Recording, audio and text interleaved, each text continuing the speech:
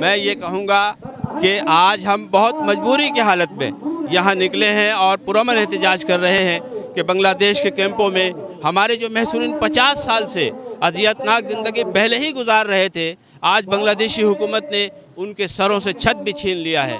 ये तीन कैंप जो थे मीरपुर, ढाका में, उनको मिसमार करके उन्हें बे सरो सामान, बेआसरा कर दिया है। अगर आज इसको न रोका गया तो इम्कान है कि बांग्लादेश, क्योंकि वो कैंप शहर के बीचों बीच आ गए हैं और वो ललचाई नज़रों से उन ज़मीनों की तरफ़ देख रहे हैं, उन ज़मीनों की मालियत महँगी हो गई है। तो इससे पहले भी कई दफ़ा उन कैंपों को आग लगाया गया, उनको भगाने की कोशिश की गई।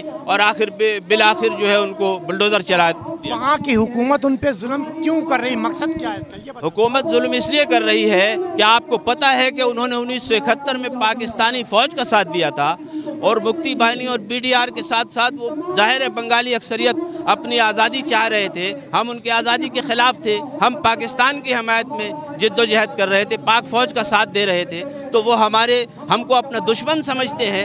वो हमारे साथ दोस्तों वाला सलूक तो नहीं करेंगे। हम उनके लिए दुश्मन हैं, लेकिन जो हमारे दोस्त हैं, उन्होंने हमारे साथ दोस्ती नहीं निभाया। उन्होंने हमें बेआसरा छोड़ दिया, बेआर मददगार छोड़ दिया। हमें शिकवा तो अपनी हुकूमत से है। हम उन दुश्मनों से क्या शिकवा करें? हमें तो शिकवा इनसे है, जिन्हें जिन्हें तो बढ़ के हमें गले लगाना चाहिए था। हमें इज़्ज़त के साथ पाकिस्तान बुला लेना चाहिए था, लेकिन उन्होंने हमें छोड़ दिया। और आज जब उनके ऊपर जुल्म हुआ है तो किसी हुक्मरान के तरफ़ से एक लफ्ज़ मोहब्बत का, एक लफ्ज़ हमदर्दी का नहीं आया।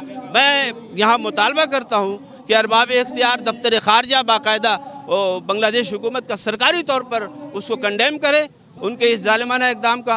और वहाँ जो महसूरीन हैं उनको पाकिस्तान जल्द से जल्द लाने के लिए इकदाम किए जाए। ये थे मुमताज़ हसन अंसारी साहब जो कि चेयरमैन इसके इनकी गुफ्तु सुनी कि वहाँ पे जो बिहारियों और बांग्लादेश का जिसके साथ यहाँ पर जुल्म हो रहा है ख़त्म किया जाए मेरी अपील है और यहाँ के हुक्मरानों से भी है। अपील है इनका कहना है कि उनको यहाँ लाया जाए। अगर वो सबको नहीं ला सकते तो वहाँ उनको तहफ़ दिया है कैमरा मैन शब्बीर के साथ Aslam Khan C N B C city news Karachi. इस वीडियो को लाइक करें हमारे चैनल को सब्सक्राइब कर बेलाइकन ज़रूर प्रेस करें।